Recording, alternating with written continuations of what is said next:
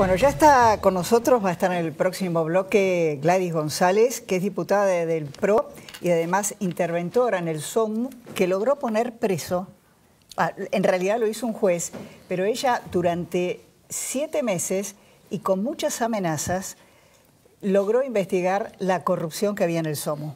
Caballo Suárez, amigo de Cristina y del Papa, nada menos, ¿no? Y en este bloque estamos eh, con Pablo Oliveto, con Álvaro Lamadrid y Silvina Martínez, porque se ha producido en relación a la situación de la expresidenta de la Nación eh, un hecho importante. ¿eh? La van a llamar a indagatoria eh, en un caso que realmente se podría decir, por lo que ha señalado el juez, que podríamos hablar casi de asociación ilícita, ¿no? porque además, además de llamarla a ella indagatoria, están Julio Devido este, López y otras 10 personas. Vos dijiste asociación ilícita, ¿eh? ¿Yo lo dije? Yo no. ¿eh? No sé, vamos, vamos a, preguntarle a, las... ¿Lo dije yo? ¿Estás seguro que lo dije? Yo no lo dije, no sé. Bueno, a ver si nos ayudan a explicar si esta, eh, Silvina, es la instancia más grave que ha debido o debe enfrentar la presidenta. Bueno, es la instancia más grave y creemos nosotros que es la primera etapa de una serie de instancias que tiene que ver con llamados a indagatoria. Recordemos que esto se hace en el marco de la causa eh, del 2008 iniciada por la diputada Carrió. Después hay una serie de causas que se, se inició en el 2008. La, madre, digamos, la, la, mega causa donde se denunciaban muchos de estos hechos comienza en el 2008. Después hay una serie de causas que se van acumulando, como por ejemplo TESUR que iniciamos nosotros, la de vialidad que inicia este año las, las actuales autoridades, y eh, la verdad que el trabajo que está haciendo Policita y su equipo de fiscales eh, y el juez Ercolini para nosotros es, es, muy bueno en este sentido. Y hoy tenemos el primer llamado indagatoria eh, por la causa de obra pública de corrupción en la obra pública. Y, creemos que es la primera etapa. Y eso es un salto de calidad, digamos, en la investigación. Totalmente. Después resta, una vez que ellos tengan esta etapa con el procesamiento, resta que sigan hacia el lavado de dinero con los hoteles y por último, que uno ya lo va, digamos, viendo en forma clara en los dictámenes del fiscal y hasta en la, resolución del juez de llamado indagatoria, la figura de asociación ilícita, que para ellos está clarísimo y para nosotros también. Paula.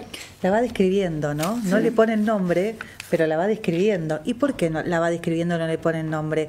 Porque la asociación ilícita, la jefa de la asociación ilícita, tiene condiciones procesales distintas al resto. ¿Y por qué es importante la asociación ilícita? Y es la, la, pelea que todos tenemos.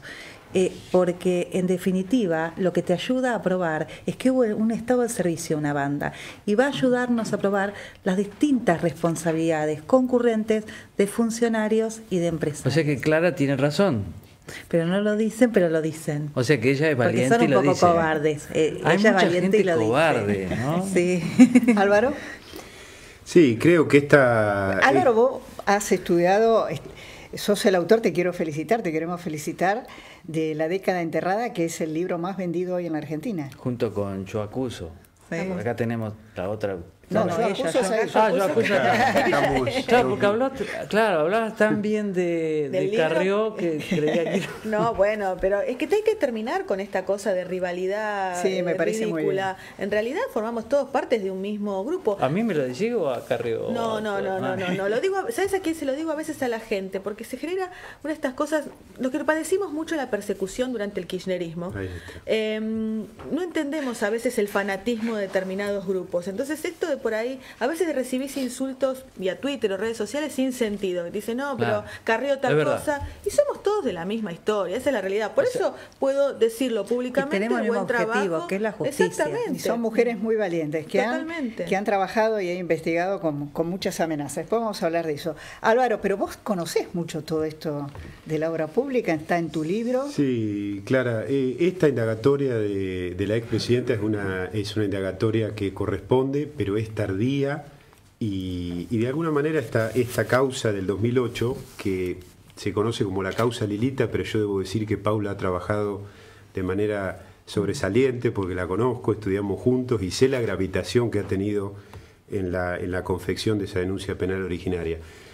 Esto habla y pone blanco sobre negro, Clara, que la justicia estos años no investigó nada porque ha sido cómplice y ha sido eh, ha tenido una actitud de encubrir, ¿sí? de manera elocuente y, inocultable e indigna a, a la expresidenta que armó toda una estructura para que la justicia fuera un ámbito servil y domesticado. Y la verdad que yo en el 2007 denuncié la venta de terrenos fiscales y ya allí, en ese momento, que es lo que, lo que quedó en el imaginario popular, pero también denuncié el direccionamiento de la obra pública. Denuncié que Lázaro Báez y Cristóbal López le llevaban asfalto a esos terrenos para enriquecerlos, eh, para hacerlos más costosos, mientras en el resto del país eh, a Lázaro Báez se le daban adelantos de obra que uno que sabe de derecho administrativo, en el mundo un Estado adelanta al 30, al 40% de una obra antes de iniciarla, cayó el gobernador Sergio Acevedo porque no quiso dar ese adelanto e incluso han llegado al paroxismo en todo el país de pagar con obras que jamás se realizaron. El título no debe ser, para mí, llamar a indagatoria a la expresidente. Debiera ser porque es lo que va a ocurrir Cristina Kirchner está procesada y coincido con Paula y con Silvina, que es la jefa de una asociación ilícita. Em, ¿Ustedes imaginan un escenario probable de Cristina presa? Bueno, ahora se tiene que defender. Por ejemplo, hoy el fiscal Marijuán dijo que el delito precedente no es la evasión, que hay que investigar la obra pública y que es importante que la investigación también de la ruta del dinero la lleve la misma instrucción que es Ercolini y Policita. Se va reacomodando todo. Ahora, la justicia tardía es injusticia. Si hubiese llegado a tiempo, 2008, 2007, 2012, eh, ¿qué latrocinio nos hubiésemos evitado? Está bien, pero es lo que es. Sí, pero por eso es importante. Por lo menos llega algo, ¿no? Sí, pero ¿sabes qué? Si nosotros nos conformamos con esto y endiosamos a jueces que se hicieron los tontos durante ocho años, nos habremos perdido la oportunidad del verdadero cambio institucional para que esto no va a pasar. Claro, vos decís, no es solo esta causa, sino que además hay que hacer los cambios para que esto no vuelva a ocurrir. Y sí, Gils Carbón puede seguir siendo la jefa de los fiscales y el Consejo de la Magistratura tiene que controlar a los jueces, porque muchos de los que ahora avanzan este, son aquellos que encubrieron durante tantos años.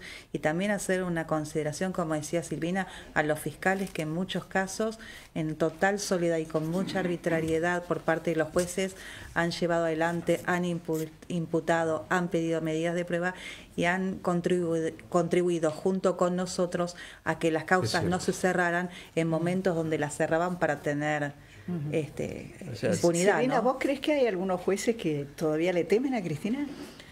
A ver, yo creo que... No sé si la palabra es exacta, le deben el cargo. No sé si el cargo. le deben el cargo. Claro, no sé si la palabra es temor. Sí sé que, o siento, lo veo, que hay momentos que avancen y momentos vuelven a poner el freno, y en momentos avanzan y en momentos ponen el freno.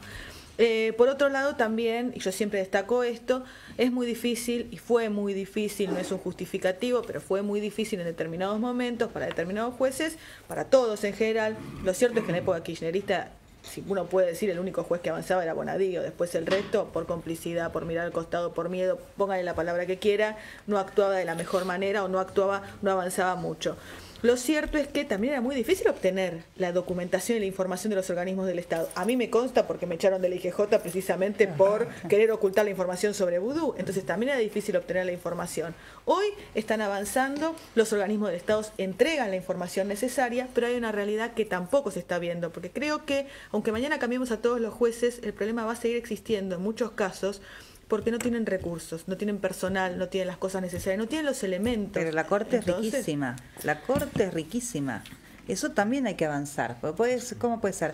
el dinero que se decomisa por la corrupción va a la corte. Va a la corte. Va a la corte. tenemos una corte riquísima y unos juzgados pobres. Eso también es la discusión institucional. Yo señal, coincido con vos. Señal para Lorenzetti. Abundancia de poco y riqueza, eh, perdón, riqueza de poco y abundancia de, de pobres en, el manejo de la administración de los recursos de la justicia. Eh, Pablo, usted, por lo que has dicho, ¿tenés una visión negativa de Lorenzetti? Nosotros, nosotros lo hemos denunciado, Elisa Carrió, yo también y ahora estamos avanzando en un pedido de juicio político. ¿Qué, qué ¿A Lorenzetti? Sí. ¿Por qué? ¿Qué piensan ustedes, en resumen, de Lorenzetti? Bueno, nosotros entendemos que eh, ha concentrado los recursos de la Corte, los ha administrado discrecionalmente, hay ausencia de rendición de cuentas.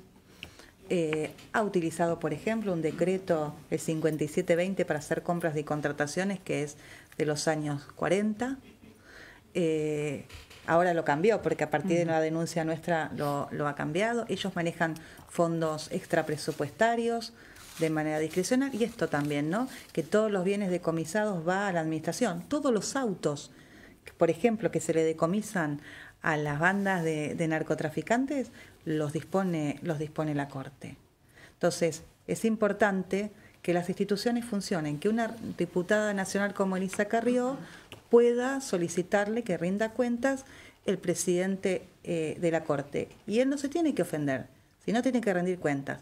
Fíjense que la diputada ha pedido que hagan públicas sus declaraciones juradas y no lo quieren hacer, porque son cortes. Cuando en el resto del mundo a, las, a los tribunales de alzada... Rosati lo hizo. Rosati lo hizo. A los tribunales de alzada se le dice tribunales, o Tribunal Superior, ellos son cortes, cortesanos. Entonces, la verdad que la Argentina que viene es una Argentina más de igualitarios que de distintos. Ellos tienen que pagar ganancias como pagamos todos, tienen que rendir cuentas como rendimos todos y también tienen que tener su declaración jurada para que la gente la compulse como la hacemos todos los funcionarios públicos.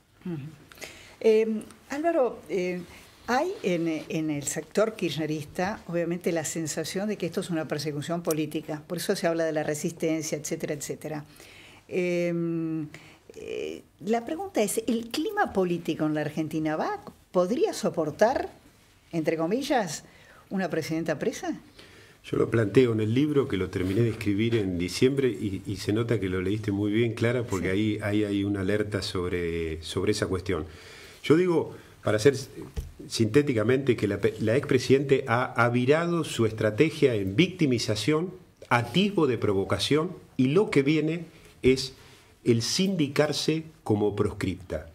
Va a, alargar su candidatura en la provincia de Buenos Aires y si avanzan las causas que la podrían colocar presa, ella eh, va a colocar, va a decir que este, la están intentando proscribir. Yo digo que esta marcha de la resistencia lo digo en tono crudo y duro porque lo he dicho siempre, es la resistencia a ir preso de los Kirchner desde las décadas del 90. Cuando creían perder Santa Cruz en el 99 y habían puesto a Zanini como presidente del Tribunal Superior para que le cubriera las espaldas si, si perdían las elecciones con el actual senador del radicalismo, Freddy Martínez, que la ganaron por un exiguo margen, adelantando las elecciones a marzo del 99, cuando todo el país se hicieron en octubre, fue la primera provincia que votó, temían ir presos ya desde esa época por los elocuentes y gravísimos episodios de corrupción de Santa Cruz. Lo que nos debe dejar esta situación en claro es que los, problemas de la Argentina no se solucionan solamente con necesarios e imprescindibles encarcelamientos. Lo que está en juego en la Argentina no es si Cristina Kirchner debe ir presa, que eso para mí debe ocurrir, ¿sí? Sino si vamos a poder volver a la normalidad institucional y recuperar la cordura cívica en el país. Silvina, ¿aguanta el país una expresidenta presa o no? Qué pregunta. La verdad es fácil. ¿No? sé si no sé si hablar de que si el país aguanta una expresidenta presa. Obviamente creo que a todos como ciudadanos eh, hoy nos pasa los que conocemos más las investigaciones, porque vamos a tribunales, porque conocemos el expediente, porque vemos las pruebas en completo. La verdad que nos da nos da, digamos, una vergüenza y un dolor haber tenido una presidenta que haya cometido la cantidad de delitos que cometió esta esta mujer y hago una pregunta más fácil. ¿Aguanta el país que Cristina no vaya presa con todo esto? Creo que tampoco.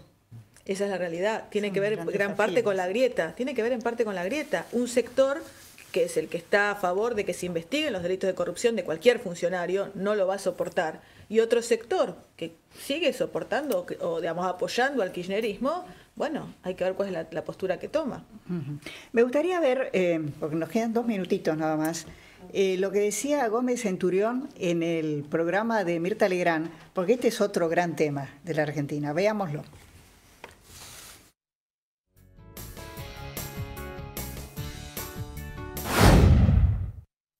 ¿Te le hicieron una cama? Eh, yo creo que sí. ¿Sí? ¿Pero quién es? mafia de la aduana. Sí, yo creo que... Director general de aduanas, ¿no? Director general de aduanas, sí. Yo creo que veníamos impulsando y expulsando el delito de adentro de la estructura de la aduana, contrabando, droga, depósitos fiscales, poniendo orden en un sistema que hacía muchísimos años que estaba fuera de control. Paula. Eh, bueno, la verdad que los servicios de inteligencia andan desaforados, porque vos tenés los servicios formales, los informales y ahora los que se robaron los equipos de la AFI, que se robaron los equipos, ahora son unas empresitas privadas que si vos pones plata te siguen, te escuchan. Entonces, es muy fácil. Y está muy activo Milania. están muy activos y ya, ya son este, estudios jurídicos que te que si pones plata te escuchan. pero quien separó a, a este señor no fue Milani, fue el gobierno nacional, el presidente Macri. Bueno, o sea, la interna es ahí adentro también. ¿eh? Nosotros estamos advirtiendo que en democracia se sigue y se escucha ilegalmente una persona y lo que se escucha de su intimidad se expone por los medios. Ese es un punto.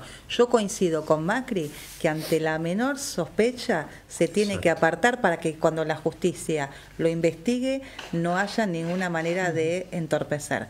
Ahora, lo cierto es que esta persona ha tocado en la aduana intereses corporativos históricos terribles, como las de Jai, como al caballo Sares a través de Maruba y también eh, los depósitos fiscales donde, entre otras cosas, había pseudofedrina. Eh, bueno, eh, eh, ¿Querés decir algo, 10 segundos sobre este, este caso? Sí, coincido en gran parte con lo que dice Paula en este sentido. A mí lo que me da como ciudadana un poco de inseguridad es cuando veo eh, internas en el propio gabinete, cuando veo que Patricia Bullrich, él y la parte... Eh, eso, me, genera inseguridad, porque no terminás sabiendo quién, quién dice la verdad y quién miente. Me parece saludable la actitud de Gómez Centurión de ir a la justicia, lo que corresponde, e intentar demostrar allí su inocencia como él dice y creo que nos tenemos que deshabituar a, ver en estas cosas como, algo que no debe suceder. Cuando un funcionario público está este, sospechado, tiene que ir a la justicia. Eh, a los tres, muchísimas gracias.